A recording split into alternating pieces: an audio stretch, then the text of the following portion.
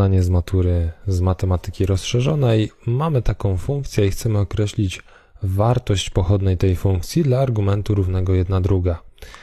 W tym celu możemy sobie najpierw obliczyć pochodną, korzystając ze wzoru na pochodną typu funkcja przez funkcję, który to wzór mamy w karcie wzorów maturalnych.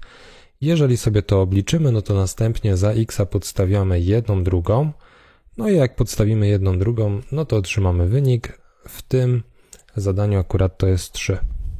Zadanie z matury z matematyki rozszerzonej. Mamy taką funkcję i chcemy określić wartość pochodnej tej funkcji dla argumentu równego 1 druga.